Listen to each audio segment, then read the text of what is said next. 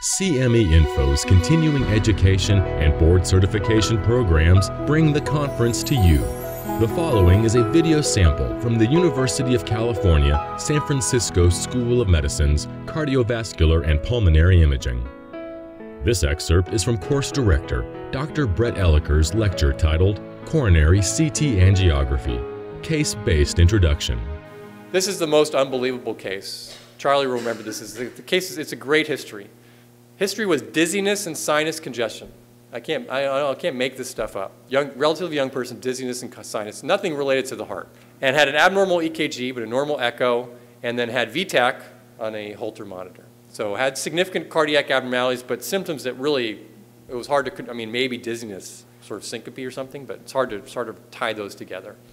And this is the patient's coronary artery, coronary CTA. Discrepancy between uh, pretest probability based on age and lack of risk factors, and objective data that there is real disease that could be attributable to coronary artery disease. And the abnormality, you know, this sort of a, this, this wasn't this case, but there's another case where, where Rick actually was reading out a PE study on one of these patients.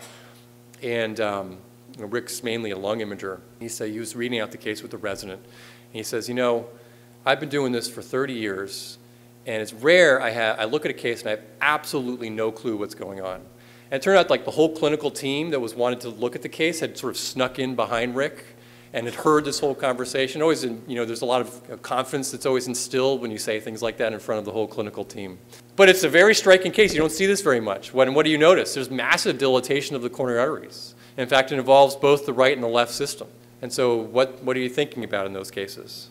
Fistulas, you know, fistulas often involve it may cause dilatation of the right or the left. It's unusual to cause dilatation of both sides, both systems. So it would be unusual to be both the right and the left. So I'd be thinking about things like vasculitis or connective tissue disease. Those would be the big ones. In Kawasaki's, again, most of the other, these other things, with the exception of this one, give you sort of focal abnormalities, either focal aneurysms or involvement of the right system or the left system, but really not generalized dilatation of the coronary artery system. So mainly I'd be thinking about these first two and maybe anomalous origin of the left coronary artery from the pulmonary artery.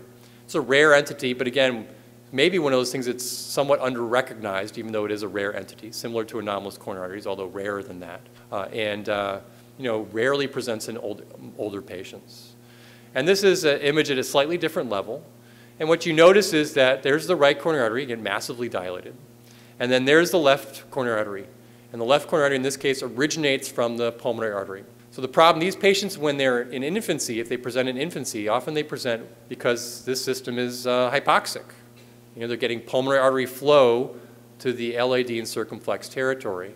As they get older, you develop these very large collaterals that occur between the right and the left systems. And when those collaterals developed, all of a sudden this side, the left side, which previously was a low pressure system, becomes a high pressure system because now it's getting it's seeing systemic pressures through the right coronary and the collaterals.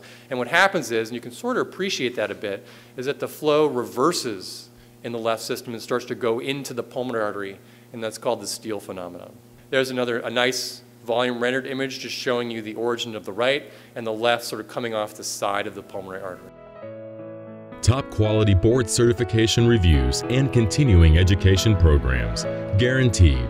For more information about this self-study activity, go to www.cmeinfo.com slash 762V or call us at 1-800-284-8433.